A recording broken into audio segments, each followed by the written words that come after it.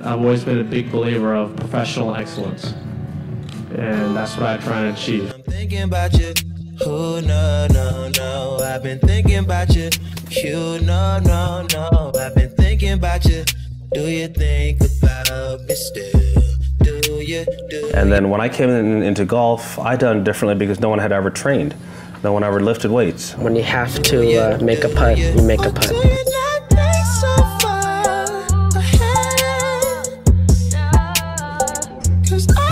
You have to hit the shot, you hit the shot. My mind's won me a lot of tournaments, but uh, physically, I always felt that I wasn't as good as I could be.